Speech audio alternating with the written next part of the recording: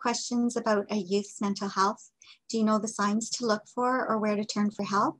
I'm Marianne Arbour with Big Brothers Big Sisters of Barrie and District, and we offer mentoring programs free of charge to children and youth facing adversity.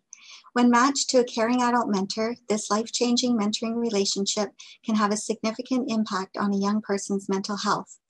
If a youth needs help, support, or just someone to talk to, we can be reached at barrie.bigbrothersbigsisters.ca or 705-728-0515. We can all face social isolation and difficulties in life, but having a big brother or big sister mentor means not having to go through this alone, and we're here to help.